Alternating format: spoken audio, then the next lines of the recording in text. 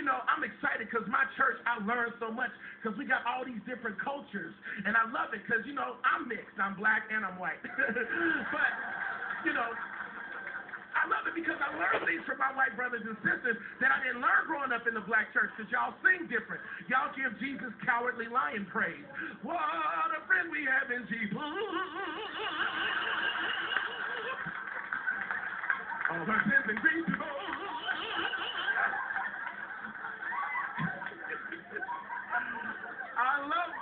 the diversity. I love everything about it.